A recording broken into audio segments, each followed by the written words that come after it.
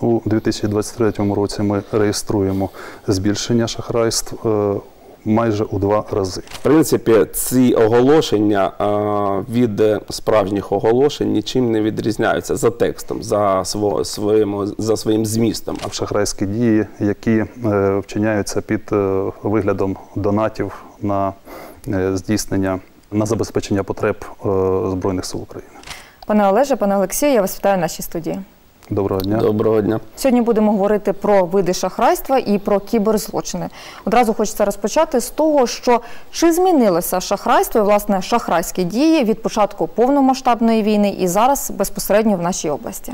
У 2023 році ми реєструємо збільшення шахрайств е, майже у два рази. Це пов'язано безумовно із е, дією воєнного стану, із е, потребою громадян у грошових коштах, тобто люди намагаються використовувати будь-яку наявну можливість отримати можливу допомогу від ООН, від різних громадських організацій, тому безумовно реагують на е, ті пропозиції, які е, висуває злочинне середовище у вигляді шахраїв е, з метою того, щоб ошукати громадян і заволодіти їхніми грошовими коштами. Ну, якщо порівнювати статистику, то у 2022 році на цей час ми е, реєстрували е, 611 шахрайств, то станом на сьогоднішній день ми реєструємо 1187 шахрайств. Пане Олексію, якщо говорити по видам шахрайських дій, чи змінилися вони?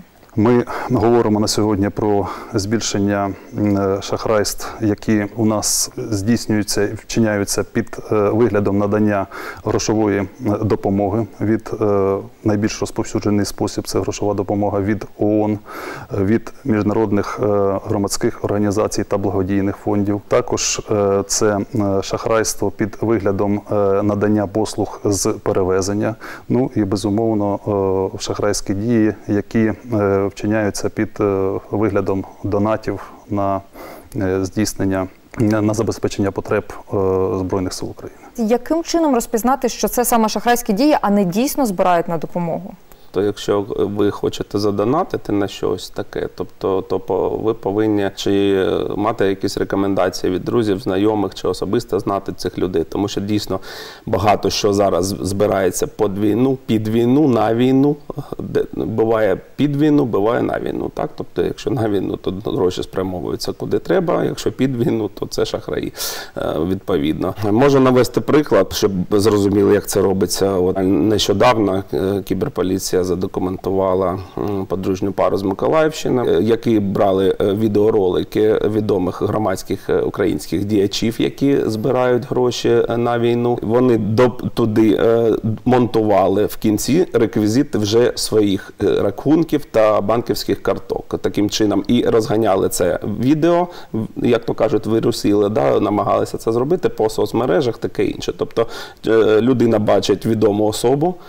Е, Яка е, закликає е, донатити, та в кінці бачить реквізити. Це логічно, так, але це вже реквізити були шахраїв. От і багато більше мільйона гривень вони зібрали таким чином, е, роблячи це. Тому ще раз хочу зауважити, що е, треба чи знати, чи через якийсь е, своїх знайомих знати, хто збирає гроші. Я думаю, що, наприклад, якщо ми ем, прив'язуємося до Запоріжжя, так до міста, то у нас невеличке таке все ж таки місто, от, і всі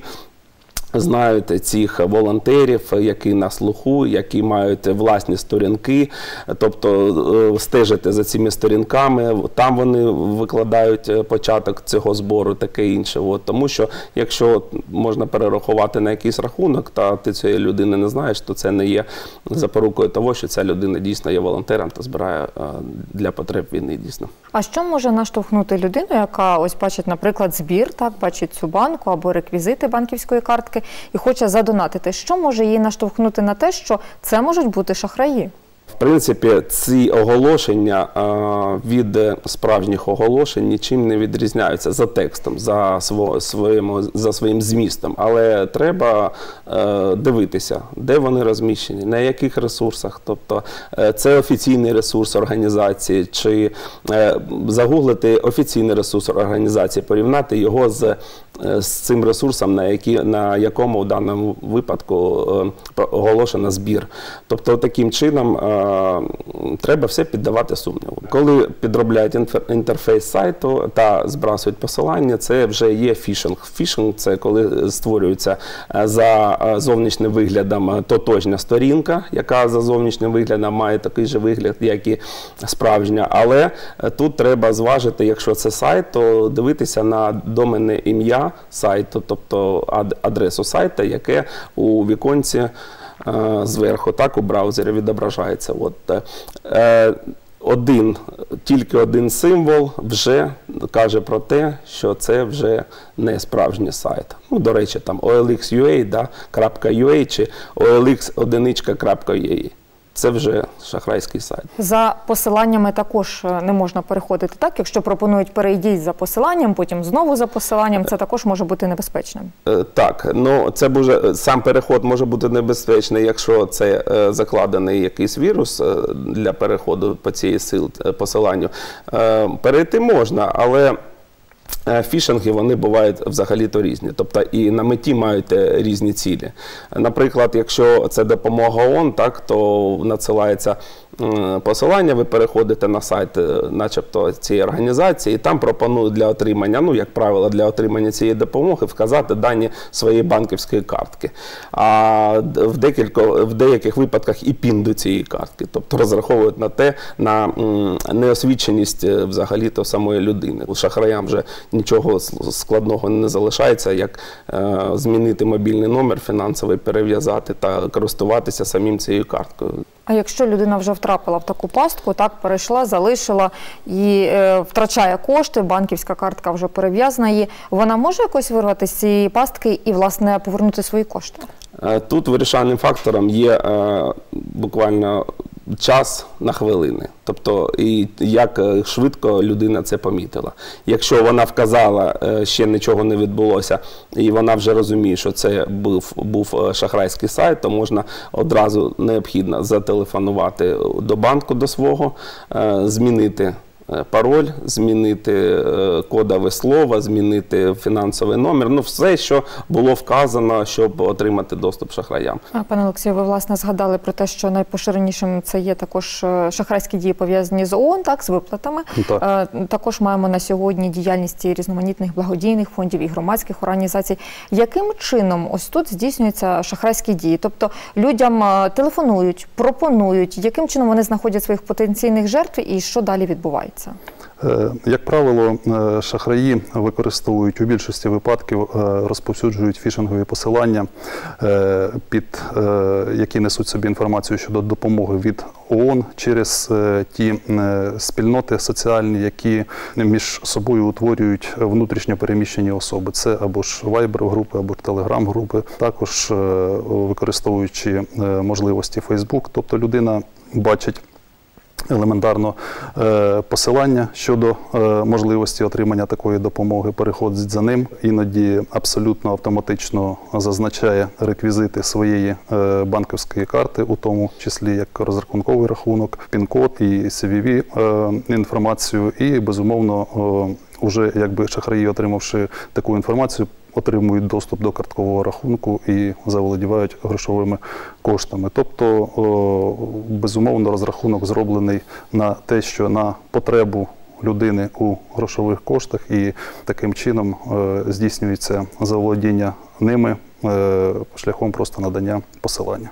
До повномасштабної війни і зараз вже під час повномасштабної війни також був поширений один із злочинів. Це коли, наприклад, дзвонять невідомі на телефонні номери і починають е, говорити про те, що їхні рідні е, десь пропали, десь постраждали і вимагають грошові кошти, аби там надати допомогу, зв'язатися і так далі. Зараз під час повномасштабної війни ми маємо і безвісти зниклих людей. Також і люди в паніці можуть, е, скажімо так, реагувати на такі дзвінки. Чи дійсно ця тенденція таких дзвінків продовжується, і де шахраї беруть телефонні номери? Е, Така тенденція на сьогоднішній день вона е, дійсно має своє продовження. Е, особливо це стосується такої категорії, як військовослужбовці, яких шукають родичі, категорії е, просто безвісті зниклих осіб, яких шукають родичі. Також е, має своє продовження це е, дзвінки під приводом співробітників служби безпеки банку, які телефонують і говорять про те, що шахраї намагаються здійснити грошовий переказ з карткового рахунку, і необхідно терміново перерахувати гроші, зазначаючи при цьому новий картковий рахунок, до якого мають доступ шахраї. І Людина, перебуваючи у стані певного нерозуміння ситуації, автоматично здійснює перерахування на е, розрахунковий рахунок, е, який належить шахраям, і таким чином здійснюється заволодіння грошовими коштами. Також мають місце продовження телефонних дзвінків від шахраїв під е, приводом е, родич біді, тобто повідомляється. Потерпілому інформація про те, що хтось із близь- близьких родичів потрапив у ДТП, перебуває у лікарні і терміново е, необхідні грошові кошти. І люди безумовно теж е, перебуваючи в певному емоційному стані, автоматично здійснюють перерахування грошових коштів, при цьому не телефонуючи своїм родичам і не перевіряючи інформацію щодо дійсності е, тієї ситуації, яку описують шахраї. Базу номерів обов'язково одразу брати. Тобто є у нас багато відкритих джерел. Такі це перше, це соціальні мережі, де часто родичі викладають пости про те, що шукають своїх рідних. Тобто вони вказують там максимальну про них інформацію е, з надією того, що отримавши, що маючи цю інформацію, більше можуть мати шансів на дійсно е, визначити, де знаходиться ця людина, і повернути її таким чином. Тому шахраї цим теж користуються, вони беруть ці дані та використовують е, у методі своєму соціальної інженерії, тобто при спілкуванні по телефону. Тобто, це, у людини достатньо ім'я, прізвище. Так, у нас є телеграм-боти, в які можна закинути це і отримати номер телефону. Та багато відкритих ще баз, де можна погуглити таке інше. Тобто цю людину вона давала оголошення на OLX, вказувала свій номер, наприклад. От, тобто встановлюють цей номер, телефонують та вже мають про неї певний вже м, такий м, коло і інтересів, друзів, таке інше. Це все використовується. Тобто я хотів ще доповнити от до сказаного колегою е, того, що щоб е, всі громадяни, всі запоріжці не забували про те, що шахраї це дуже класні психологи. Безумовно, необхідно звертатися щодо перевірки вказаної інформації і до тієї територіальної громади, до представників на території якої проживає внутрішньопереміщена особа, до управління соціального захисту населення, оскільки всі е, більшість е, благодійних е, фондів, більшість е, представників міжнародних організацій, які діють у рамках правового поля на конкретній е, конкретно визначеній території, на конкретній територіальній громаді, е, вони е, всі дані про них є е, як в управлінні соціального захисту населення, так і в територіальних громадах. І безумовно посадові особи, е, які контактують з внутрішньопереміщеними особами, також можуть е, зорієнтувати і підтвердити правдивість тієї чи іншої інформації. Кожна шахрайська схема розрахована на, на певний вік, на певну соціальну групу, там чи це ВПО, чи це. Ну тобто, під цю легенду свою вони розуміють певну групу, яка відреагує і яка на яко, на якій в них є шанс нажитися.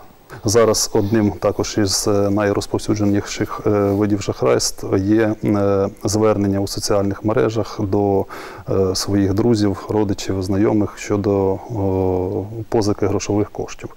Тобто шахраї, отримуючи доступ до аккаунту, здійснюють переписку, просять. Позичити грошей, і е, люди, безумовно, не перевіряючи цю інформацію, автоматично здійснюють е, перерахування грошових коштів, оскільки до нього е, ну, потерпілий е, таким чином собі уявляє, що е, до нього звертається дійсно його друг, е, родич, знайомий, і він потребує допомоги. Багато е, зараз реєструється таких звернень. Можливий злам, а можливе ще підроблення, тобто під аккаунт другу. Тобто, наприклад, е, в мене не так давно навіть, дружина отримала від нашого. е, Кума е, е, нашого друга е, повідомлення у Телеграм, тобто прошу там позичити таке інше. От. І, там був аккаунт зроблений, тобто і, і нікнейм був е, похожий, як то кажуть, і фотографія була, тобто все було зроблено, от неначе це він. Тобто не обов'язково може бути злам, ще підробляють ці аккаунти. Також з метою заволодіння Також за коштів мета потім. заволодіння. Мета одна і та ж сама у всіх заволодіння грошима. Через банки в інтернеті, так би мовити, так е, здійснювати шахрайські дії можливо чи неможливо? Звісно, можливо. Звісно, можливо, якщо отримати несанкціонований доступ до облікового запису в онлайн-банкінгу, наприклад, у Приват24. Тобто, якщо вони е, шахраї завладівають, е, вони знають, наприклад, е, там логін вводиться, номер мобільного телефону. Вони знають, так, наприклад, номер мобільного телефону, який є у людини. Ну, як правило, це номер нашого телефону, яким ми користуємося, як правило. Хоча ми радимо використовувати інший номер, який не фігурує в нашому публічному житті, як то кажуть. Але зачастую всі так роблять. Ну, багато людей. От, а пароль, тобто це може бути отриманий різними шляхами, знову ж таки.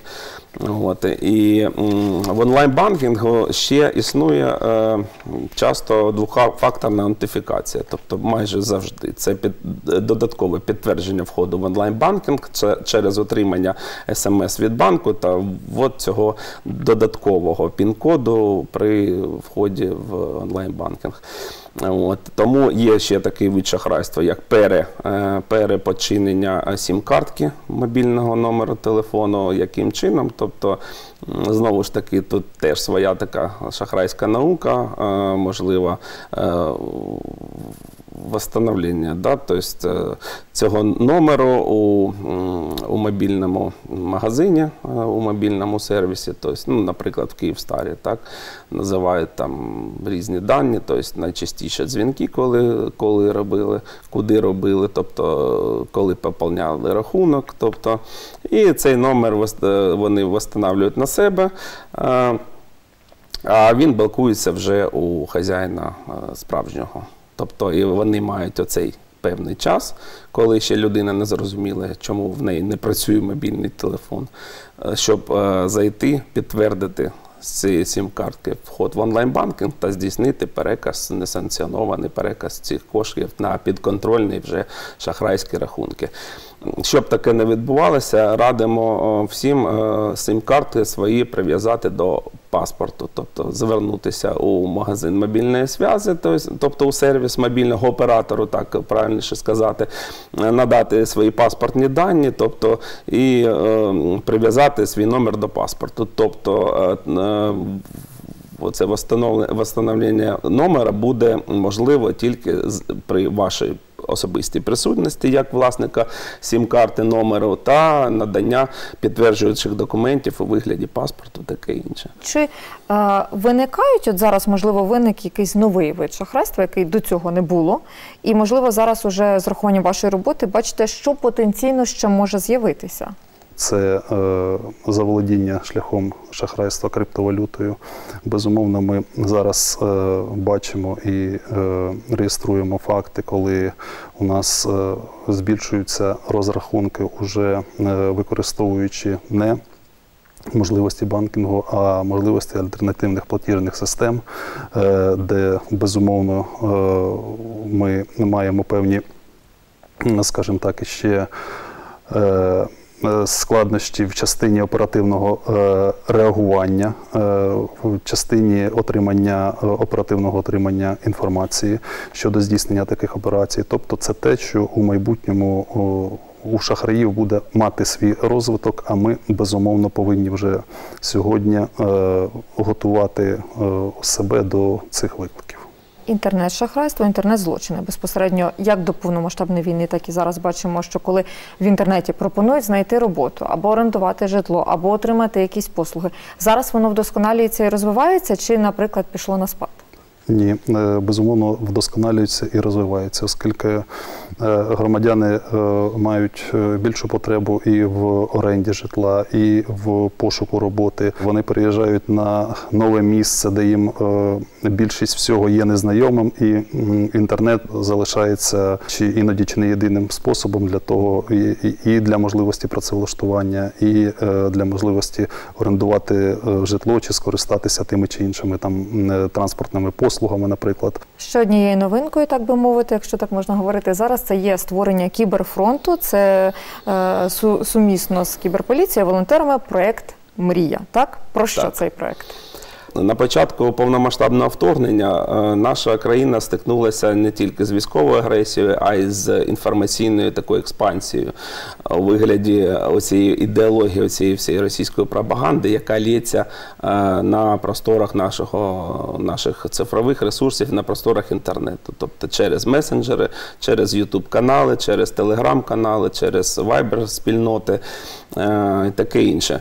І з цією метою протидії саме російській пропаганді, російської цій інформаційної війни був створений е, телеграм-канал е, Мрія у Телеграмі, де ми е, об'єднали е, волонтерів е, у вигляді підписників цього каналу. Для чого? Поясню. Тобто є оця вся пропаганда, яка розміщується на всіх цих, які я перелічив ресурсах, тобто Телеграмі, Ютубі, таке інше. От є підписники цього каналу Мрія. Вони мають свої облікові записи, свої акаунти в всіх, всіх месенджерах, соціальних мережах. І е, в цьому каналі ми публікуємо ці ресурси, е, через які е, ця пропаганда е, сюди заводиться. І ми ці ресурси публікуємо як цілі для підписників цього каналу, щоб вони могли на ці всі ресурси направляти скарги адміністрації цих сервісів, на яких вони розміщуються. Тобто Telegram, YouTube, Viber, таке інше. Чим більше цих скарг, тим більше вирогідність того, що цей ресурс буде заблокований. На сьогоднішній день вже ми заблокували порядка, точніше, адміністрація за поданням наших підписників е, заблокували вже більше 20 тисяч таких ресурсів. І продовжуємо це робити далі. На- Наразі ця спільнота на- в телеграм-каналі на- налічує 250 десь е, тисяч підписників. е, Та чим більше їх там, тим більше ми зможемо заблокувати тих ресурсів. Тобто, це може долучатися не лише жителі нашої області, це з усієї України може долучитися. Всі, всі, всі. Тобто і не тільки з країни, з всього світу можуть долучатися. Пане Олексію, пане Олеже, я вам дякую за розмову і перевіряємо інформацію. Обов'язково. Обов'язково. Дякуємо. Дякуємо вам.